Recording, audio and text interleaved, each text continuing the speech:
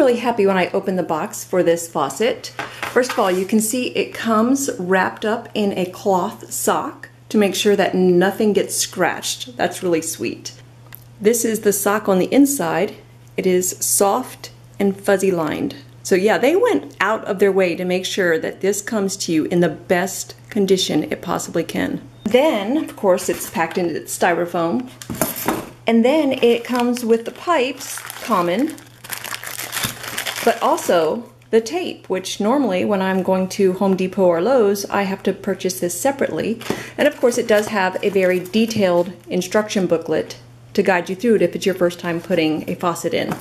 I'm really excited and getting everything ready simply because these prices were kicking the butt off the Home Depot stores and the Lowe's stores where we used to shop. And so I'm really excited to get these installed. But right now I wanted to make sure that you could see this. First of all, how well it was packaged. I mean, you can already see that the price is so much better, but it was very well packaged. And this thing feels so solid. Here is where the water is going to come out in a fine stream. Really cool. And this is a very heavy piece of hardware. This does not feel cheap in any way. And so, for that reason, I thought I would be so kind as to bring a scale. So here we are at two pounds and 13 ounces.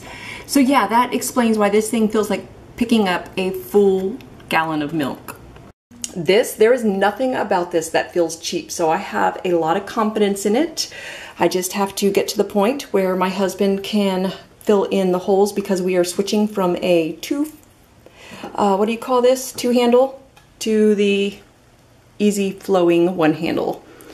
So there you go. You can at least see that this is a very solid piece of metal. It comes with everything you need to get started and it was very well packaged. So I'm really happy. Yay, can't wait to get it in.